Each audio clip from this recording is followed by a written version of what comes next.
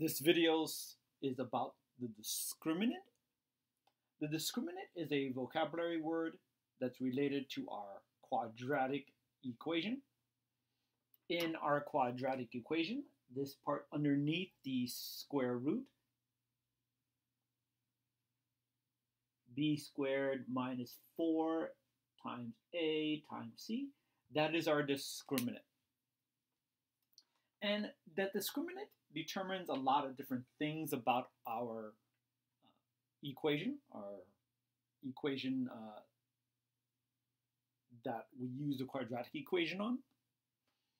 So if the discriminant is greater than zero, then that equation will have two unique real solutions. Here, when we're saying the word real, we're talking about uh, the type of numbers. So these will have real numbers as solutions. And the word unique here means that they'll be different from each other. So let's give an example.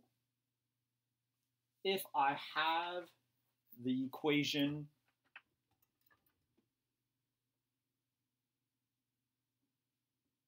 six x squared minus x minus 12 is equal to 0. Here my a is equal to 6, my b is equal to negative 1, my c is equal to negative 12. So if I were to plug uh, 6, negative 1, and negative 12 into my quadratic equation, the b squared minus 4ac will be bigger than 0, or positive after I finish plugging into this, my solutions that I'll get will be x equal 3 over 2 or x equal negative 4 over 3. That's me plugging my ABC into the whole quadratic equation. I will end up getting and then I simplify it, I get x equal 3 over 2 or x equal negative 4 over 3. So here I have, uh, here are my two solutions down here.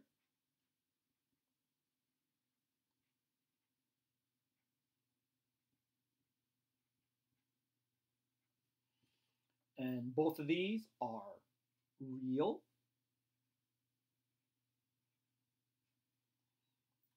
There are two of them. And the word here, unique, is talking about the fact that they are different from each other.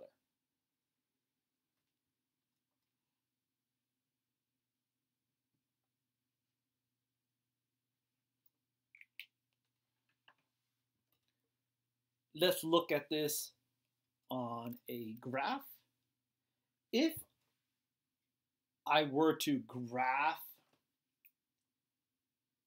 uh, let's look at what the graph of this would look like if this was a y here. So let's look at the graph for uh, y equal 6x squared minus x minus 12. All right. So uh, if I was going to look at the y, the x-intercepts for this graph right here. Your x-intercepts, you change the y into 0, and then you solve. Now let's look at what the graph of this equation right here looks like. So here's a graphing program. I'm going to plug in y equals 6x squared minus x minus 12. So it looks like this.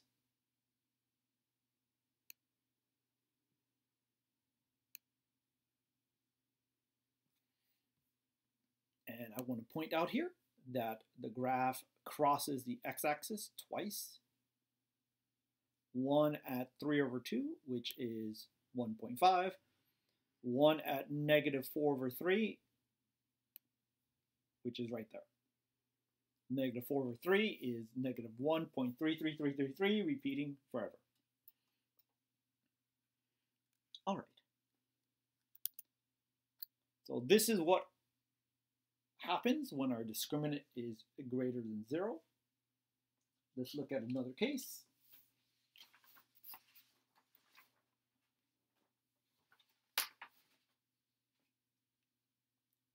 If our discriminant is equal to 0, then we'll end up having one unique real solution.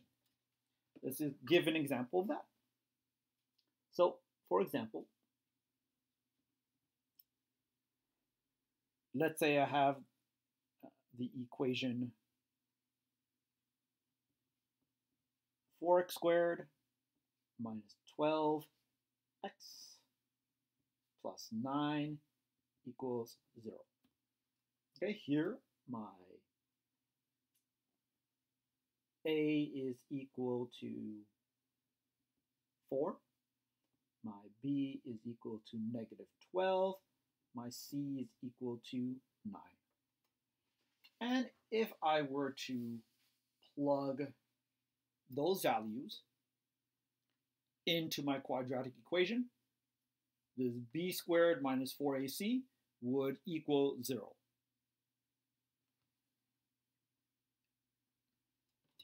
So after I plug, if after I plug these three values, a equal 4, b equal negative 12, c equal 9, into my quadratic equation, you'll end up seeing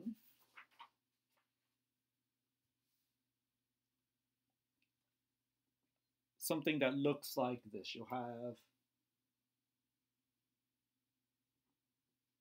x is equal to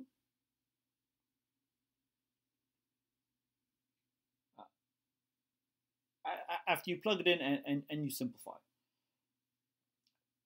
you end up having x is equal to uh, 12 plus or minus the square root of 0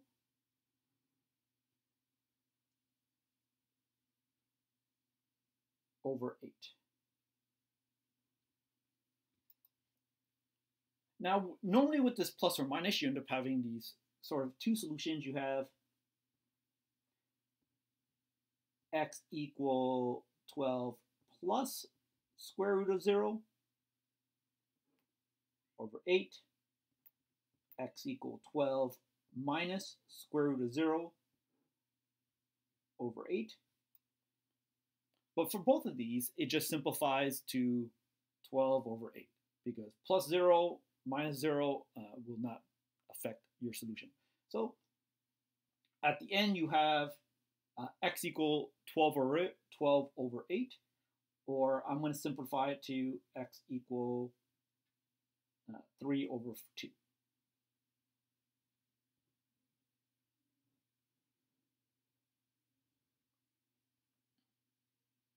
This is called a double solution sometimes because your one solution shows up twice. But this solution right here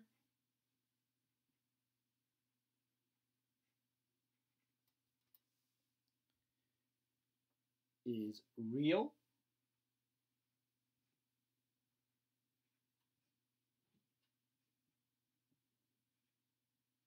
And although you got x equal 3 over 2, although you got that two times, because they're the same, we count them as only one unique real solution. Unique means uh, none are the same as it. Okay? So once again, that happens when our discriminant is 0 and it's because although we split it here, adding 0, subtracting 0 will not change the value, and so therefore these two will be the same. If you see a factored version of this, you can also tell when you're going to have a double solution like this, or one unique solution. If I factored this, I get 2x minus 3 times 2x minus 3 equals 0. And so if you looked at the factor form, you can tell that there's only going to be one unique solution, like the solution for 2x minus 3 equals 0 and 2x minus 3 equals 0 will be the same. Let's look at the graph of this. So if I were to uh, have the graph of y equals this, so if I change that to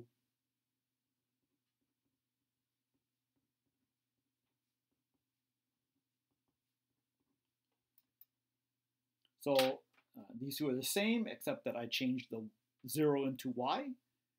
So if I were to graph this right here, and I were to look at the x-intercepts, where y equals 0, uh, let's see what a double solution or one unique real solution to a quadratic looks like. So here is 4x squared minus 12x plus 9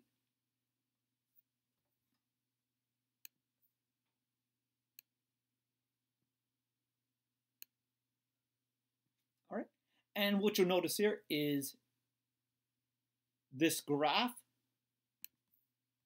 uh, it comes down, it just touches the x-intercept at 3 over 2 or 1.5 and then it goes right back up. So it doesn't actually go through the x-intercept, it just touches it and goes right back up, sort of like bouncing off of it. This is what happens at a double solution.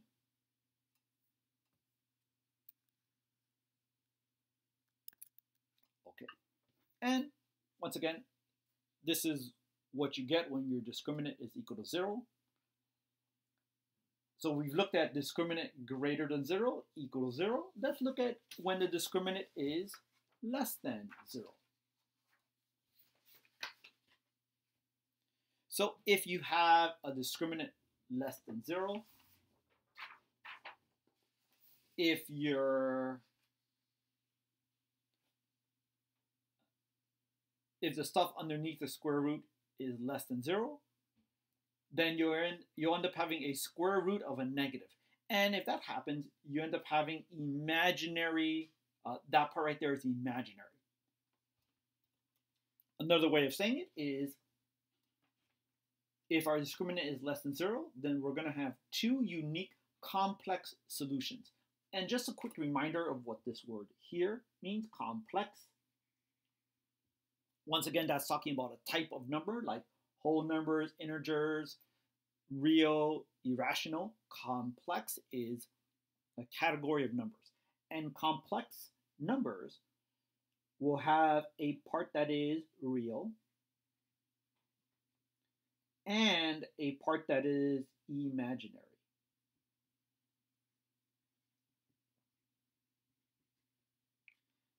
And here if our discriminant is less than zero, then my square root of the discriminant is your imaginary part. And then this minus b, uh, there's your real part. Technically, uh, negative b over 2a is your real part. Okay, so let's give an example of this one right here. So if I have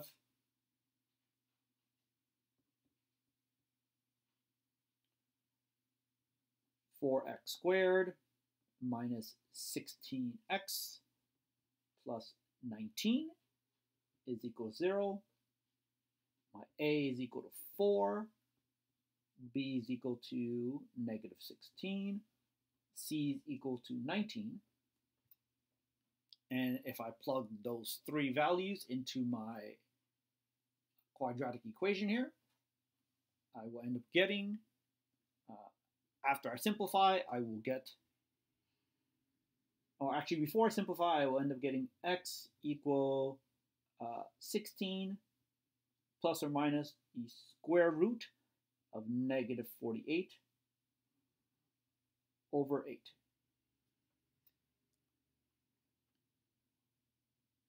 Uh, so you end up having uh, that right there. Um, if I wanted to I, I think I'm actually going to leave right there. I, I can simplify this more if I want to, But uh, let's break this into the two pieces. You have x equal 16 plus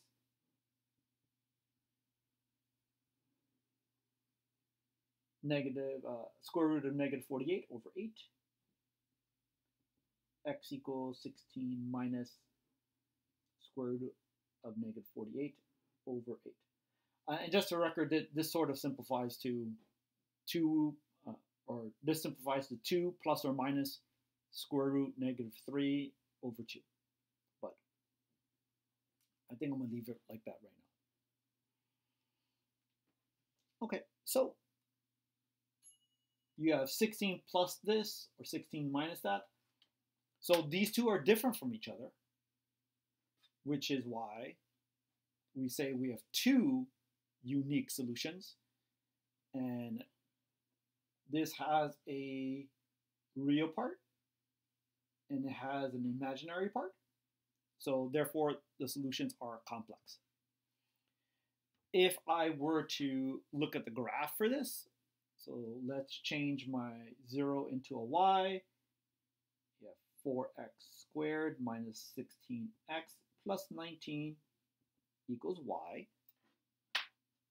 And so what would the x-intercept look like in this case? If I change my y into 0, what does my x-intercept look like when you have two imaginary solutions? So here's the graph of 4x squared minus 16x plus 19. So your graph will not cross the uh, x axis.